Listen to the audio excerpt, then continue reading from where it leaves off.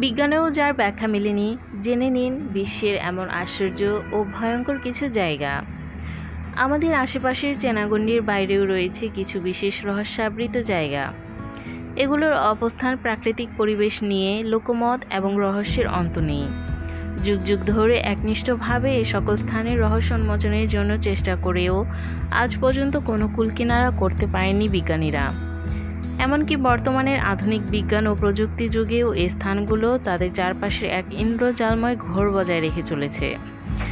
তাই পৃথিবীর এমন কিছু স্থান রয়েছে যেগুলোর ইতিহাস বা কাহিনী আজও আমাদের কাছে অজানা ও রহস্যময়। জেনে নেওয়া যাক সেই সব রহস্যে ঘেরা স্থান সম্পর্কে। ম্যাকমার্ডো ড্রাই ভ্যালি বরফের দেশ অ্যান্টার্কটিকার মধ্যস্থলে অবস্থিত। জনমানবহীন এই উপত্যকাটি বিশ্বের সবচাইতে শুষ্ক মরুভূমির মধ্যে একটি। প্রতি বছর গড়ে বৃষ্টির পরিমাণ খুবই নগণ্য।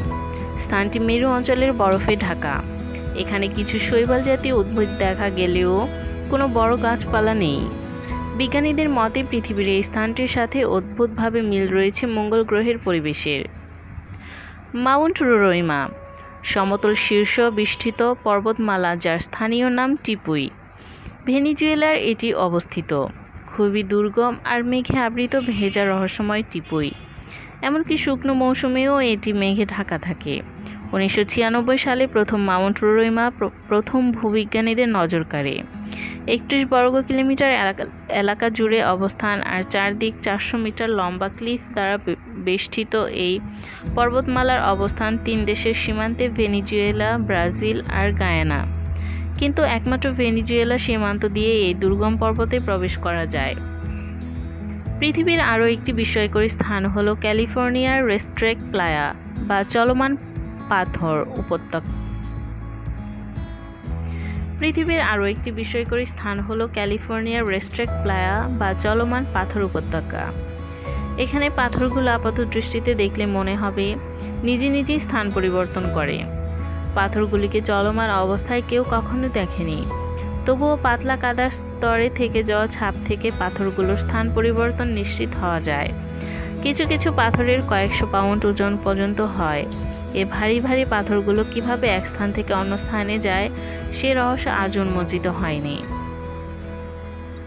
পাথরের ট্রেলে রেখে যাওয়া সূক্ষ্ম ছাপ থেকে বোঝা যায়, পাথরগুলো এমন সময় স্থান পরিবর্তন করে যখন উপত্যকায় পাতলা কাদা মাটির আস্তরণ রয়েছে, মানুষ বা অন্য কোনো প্রাণীর দ্বারা পাথরের স্থান পরিবর্তন হওয়ার সম্ভাবনা থাকলেও আশেপাশের কাদায় তাদের কোনো চিহ্ন পাওয়া যায় না।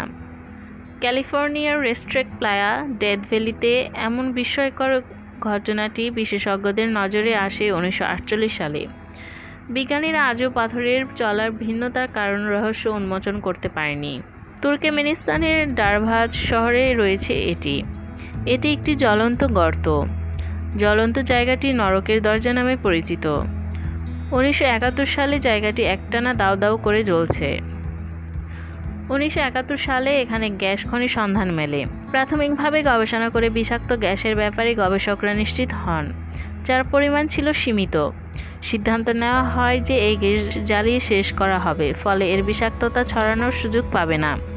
এরপর এখানে গর্ত করে আগুন জ্বালিয়ে দেওয়া হয়। কিন্তু গবেষকদের অবাক করে দিয়ে তা এখনও পর্যন্ত, অর্থাৎ চল্লিশ বছর ধরে অবিরাম চলছে পৃথিবীর সবচেয়ে আশ্চর্যজনক স্থানগুলির মধ্যে অন্যতম বারমোদা ট্রায়াঙ্গেল।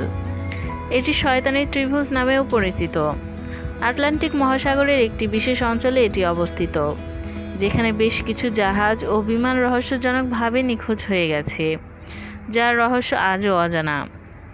অনেকে মনে করেন ওই সকল অন্তর্ধানের কারণ নিছক দুর্ঘটনা, যার কারণ হতে পারে প্রাকৃতিক দুর্যোগ অথবা চালকের অসাবধানতা। আবার চলতি উপকথা অনুসারে এসবের পেছনে দায়ী হলো কোনো অতি প্রাকৃতিক শক্তি। আউকিঘারা জঙ্গল, এটি জাপানের রহস্যময় ভয়ঙ্কর ভূখণ্ড। এটি জাপানের ফুজি পার্বতের পাদদেশে অবস্থিত।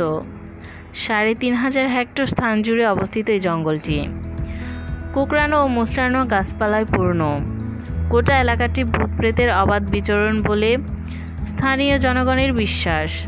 দুর্ভাগ্যজনকভাবে স্থানটিতে বিশ্বের দ্বিতীয় বৃহত্তম আত্মহত্যার স্থান হিসেবে পরিচিত।